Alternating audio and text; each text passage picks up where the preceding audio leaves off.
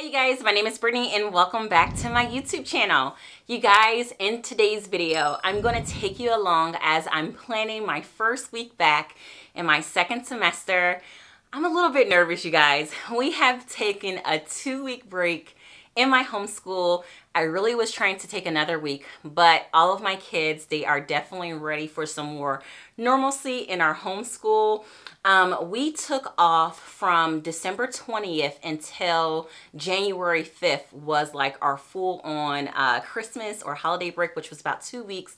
I was thinking about taking another week off, you guys, and doing three, and then I starting the day after Martin Luther King Day. But my oldest, she said she's ready to start. My younger ones, I can tell they are ready for some like type of normalcy and like our schedule. We've been like all over the place. We really just let it loose this holiday season. So I'm excited for us to like get you know started back up and you know gear up for our second semester. So i have my planner here you guys and i'm gonna flip you guys around and i'm gonna take you along with me as i plan out our second semester. Now i have gotten so many comments from you guys wanting to see how my planner looks mid-year. So before i get into the planning i'm gonna you know show you guys how my planner is looking now that it's halfway completed like some of the things that i uh, added in here uh, because a lot of you guys really have been enjoying using your school nest planners too.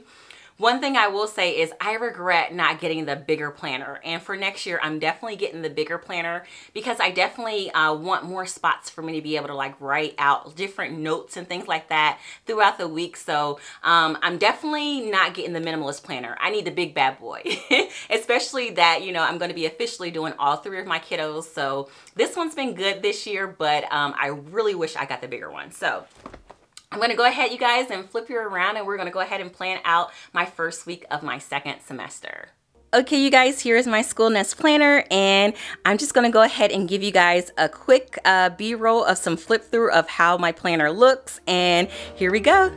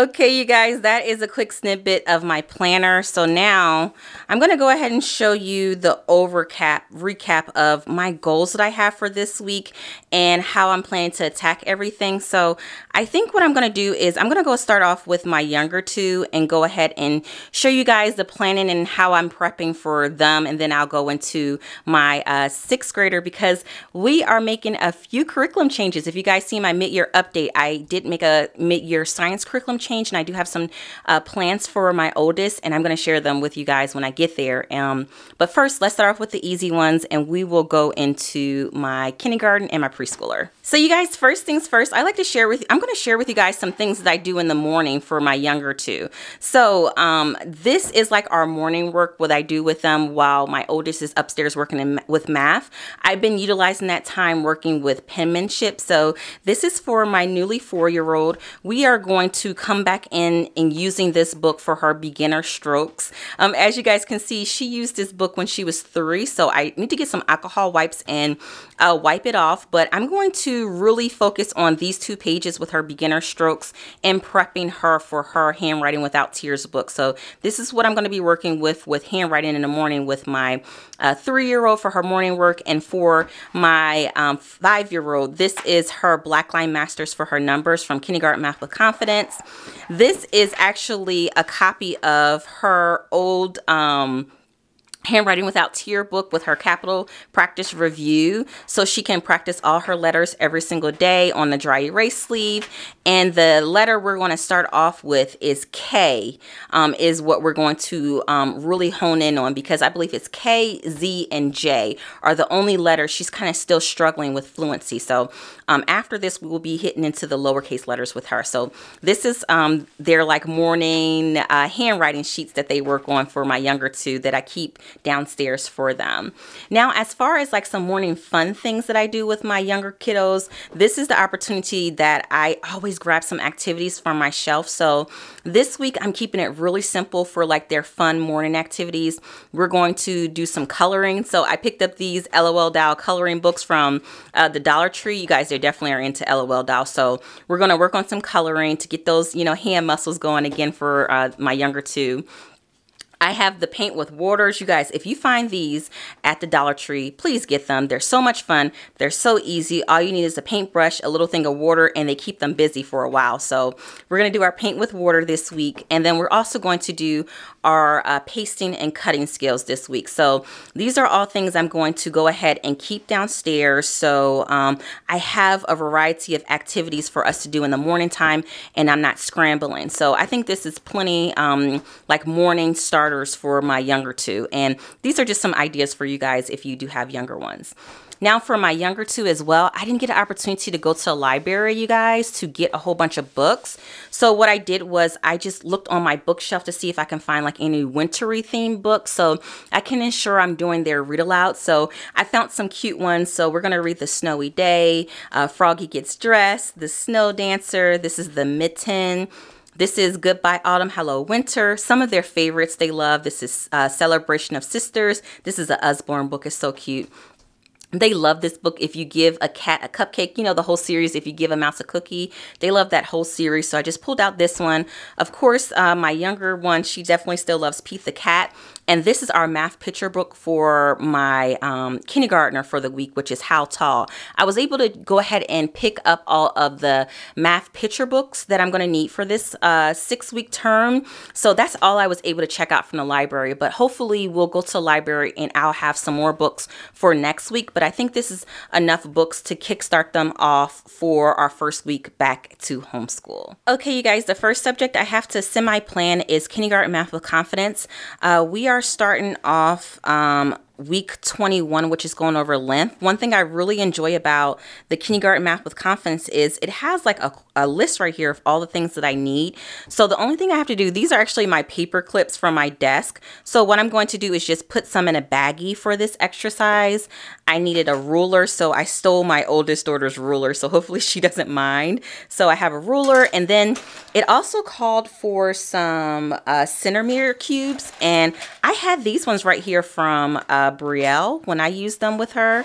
And um, I just need to pull out some for her when we're doing our measurement. So I have the centimeters cube. So I just need to add these few things inside of my math box for my daughter. I think all of the other um, number cards that I need, like the um, index cards for the numbers.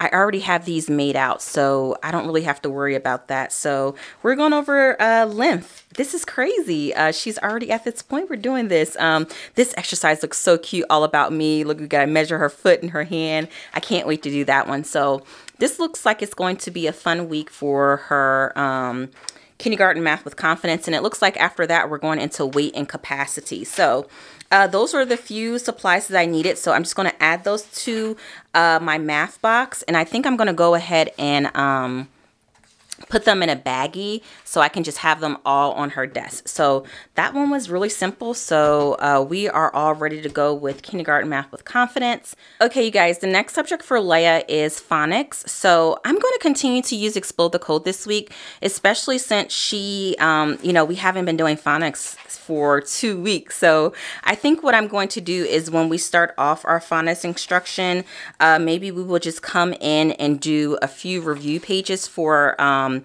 her as far as her CVC word practice. I have her all of her green words that she already has mastered. I think what I'm going to do is we're just going to go over all of them uh, for maybe the first couple of days. I have in my little basket, my mom got me these baskets for Christmas for my homeschool. Aren't they cute? So I uh, pulled out some of the few, the next few Bob books that she can read. So um, we can do some practice as far as her reading fluency with her Bob books. I found this little uh, viewfinder at the Dollar Tree, you guys, for when she's reading her words. So hopefully she'll like these. It came in a pack of like 10. So I have that for her. And we're going to start off the week with Explode the Code. And once I see she's like, you know, her muscles got warmed up, we're going to go ahead and start back in our All About Reading. I believe we are going into lesson eight. Yeah, let's see. Yeah. So we're in lesson eight. It's nothing really I need to do as far as all about reading because it's already prepped. We use our um, the app with the letter tiles on it. So all I have to do is press lesson eight and we're good to go. The only thing I'm going to go ahead and do is I'm going to uh, look in my binder right here and I'm just going to go ahead and pull out the lesson eight um, what is this called? I think this is like the activity pages. I'm to go ahead and pull it out and put it inside of my, um, I'm to put it inside of my All About Reading book so I can have it. And you guys, I'm so happy I did prep it. So I already have like the little uh, fluency cards for us um, as far as her word flippers already ready to go and prepped. So uh, that's really, really good. I did that already. I mean, I know it's a lot of prep work, but it's so worth it in the end. So um, I think she's really going to enjoy this activity. So I have the activity pages. I have her uh, fluency page in here as well. And hopefully she will enjoy using her new um, little viewfinder that I got from the Dollar Tree. So I'm going to put this big binder with my activity um, book back on my shelf. And I'm just going to put in her basket um, her activity pad. So that's all ready to go. So um, I'm so happy I did do that prepping. Now I didn't prep the whole All About Reading. I only prepped half of it because that was my goal to finish half of this this year. So if I see we're doing it more, I'll probably prep more. So that is everything as far as Leia's uh, reading, her phonics, um, all of the work that I'm going to be doing with her this week. And of course her handwriting. So she's all good to go. Um, now, as far as my preschooler, you guys, uh, we have started JDA's uh, math and I already have the page number where we're at for her. So she just loves this little book, you guys. Um, we just do however many pages she wants to do. Now, this was the PDF file. I think the book looks a little bit different. So for my newly four-year-old, I'm just going to let her do as many pages as she wants to, but we are going to kickstart back her uh, preschool math at home. And right now we are on, I think this is chapter four and we are about to start or I'm going to introduce her now to the 10 frame so I can put my five frame away because she has that mastered um, and go ahead and get her started. I think what I'm going to do for her is I'm just going to use our uh, linking blocks for her for her kindergarten math with confidence. Uh, in the wintertime I found some cute little snowflakes and Christmas trees that I use with them. And I think if I can find some cute Valentine's Day manipulatives I will use that once it comes to like February. But for now I'm just going to use my regular linking blocks with her um, preschool math at home. So that is her uh, math. As far as her little phonics uh, basket, my mom got these baskets. Um, I'm just going to review her letter sounds. Here are the CVC words we're practicing with her. And I went ahead and I just took out her favorite color of her linking blocks right here. So when I set up her desk at the end, literally I can just stack all these things up and she's ready to go. And I think that's all I'm going to do with Alana, my four-year-old, uh, this week, along with like her morning starters. Okay, you guys, um, now that I have my uh, younger two all all finished. This is like all the goals for the week. I do have Messy Art Friday. I didn't figure out like what art project I want to do on Friday, but hopefully I can find a wintry theme project on Pinterest and they'll have fun doing that. So that's something I need to add to my checklist for Messy Art Friday. But uh, that's everything they're going to do our first week back at school. Um, so they're all good to go. Now let's go to my sixth grader, you guys. So Brielle has finished Math-U-See Zeta and I'm so proud of her. Um, so I already have Math U-See pre-algebra ready for her to go. I still have it in a shrink wrap, you guys, because I'm like so excited about this. But before we head into Math-U-See pre-algebra, she has been off of math for about two weeks. Um, I kind of don't want to just like throw her into the, you know, the ocean. I want to give her like some breathing room to kind of get her skills back up, especially since she's starting a new semester. So what we're going to do is our first week back, we are going to just do our supplemental math, which is our Oak Meadows Math 6.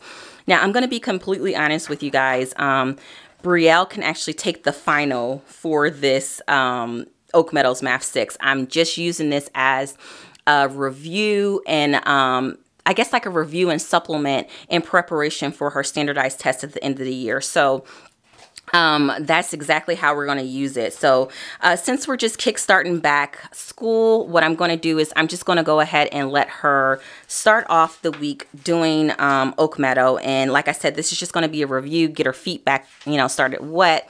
Um, so this is what she's going to be doing as far as math this week. We may do lessons 19 and 20 because again, like I said, this is just all review for her. And I just want her to, you know, get kick started back and uh, give her a gentle start when it comes to that. So that is what Bree's going to do for math. And, you know, that's what I wrote down right here. So that is all ready to go. Now, as far as her English block, I'm keeping it really, really simple. So, of course, we're going to do Fix It Grammar. We're coming in at um, week 16. So this is about the halfway point for Fix It Grammar. She's just going to come in and do her one sentence a day. And uh, most of this is just review. She typically reads this on her own and then she kind of goes throughout the week. So I have this all ready for her as far as Fix It Grammar we're going to be doing her Oak Meadows uh, English 6. Now for the lesson 18, it's just a vocabulary review for this whole week. So what I'm going to do is all the vocabulary words that she's done so far, I'm going to give her like an oral test and we'll work on that. So um, this oral review, I might split up the words into two days. It's going to be really simple for her as far as her uh, vocabulary review in English. So I'm happy she's coming in Oak Meadows English with a lighter week as well. So that's really cool as far as that goes.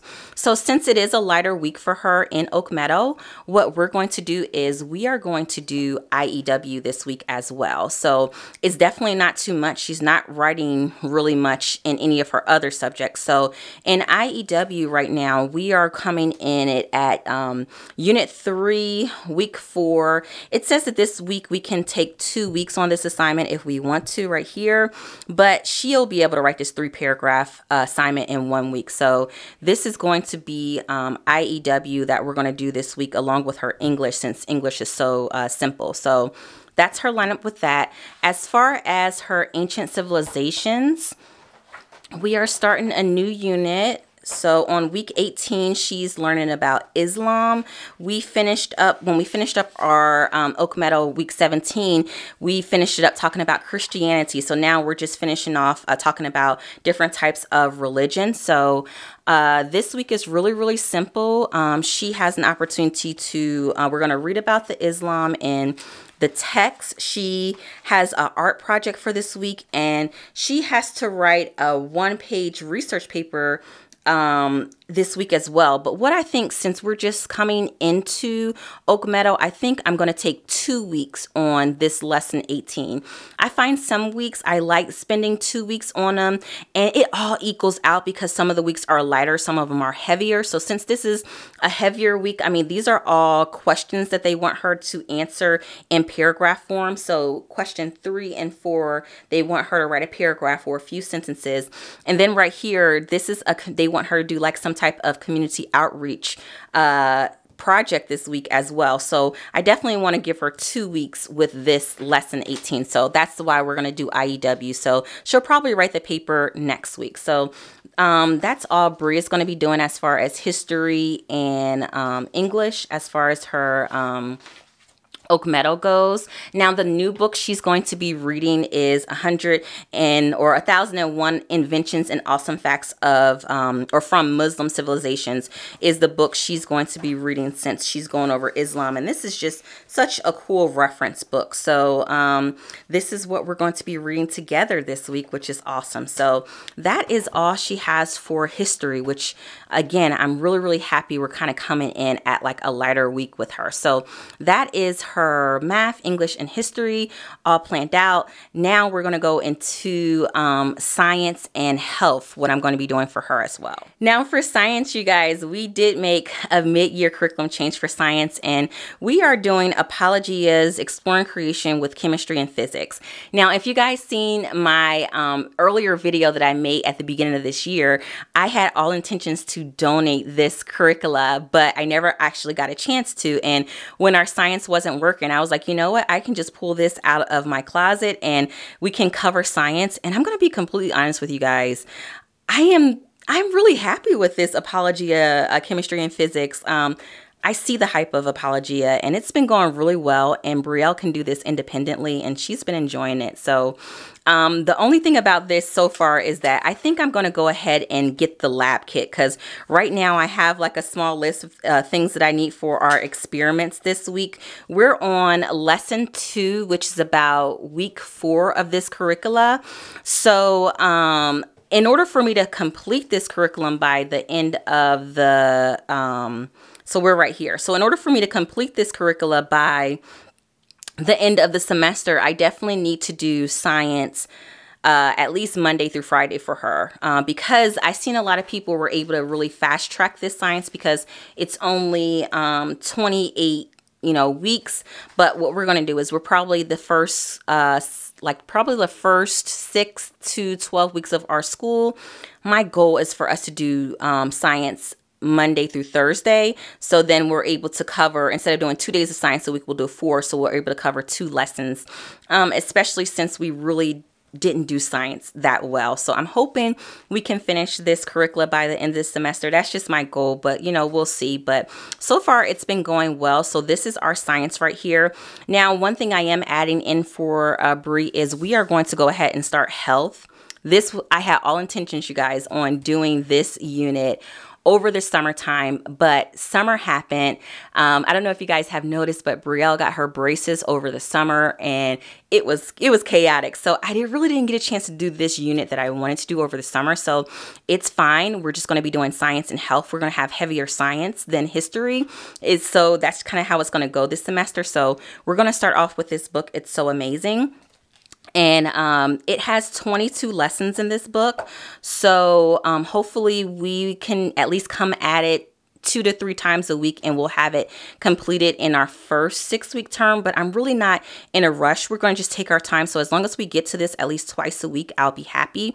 And if we finish this book i'm going to go into the second book in this series which is it's perfectly normal and we will work on this one as well. So these are our two books we're going to be using uh, this semester for health.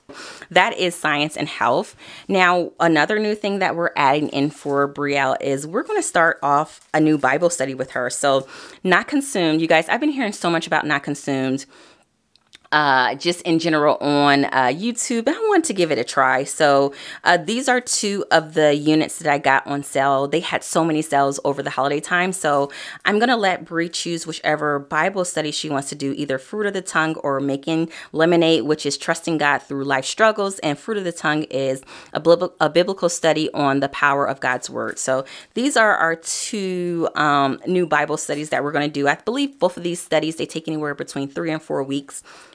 I'm not in any rush. We're going to just take our time. But I definitely knew what I was doing for her. She definitely is ready for a bump in um, our biblical study. So we're going to be doing this along with our hymn study, and that's how simple I'm keeping our morning Bible time with my oldest uh, this second semester. Um, I'm cutting out all the fluff and we're just getting to the meat. So that is like my plan for our second semester, you guys. Thank um, you guys so much for watching today's video. I really hope you enjoy coming along with me as I planned out my first week of my second semester. You guys, we're going to cross our fingers. Please wish wish me some luck, send some prayers up for me as I'm starting off my second semester. I have like the butterflies in my stomach. I'm a little bit nervous, but hopefully we can kind of get back into our routine and you know, it'll be a smooth transition for us here in our household. I really hope that you guys are all having smooth transitions as you're, you know, dusting off the books and kickstarting your homeschool as well. So as always, you guys, thank you so much for watching today's video and I look forward to seeing everybody in my next one. Bye.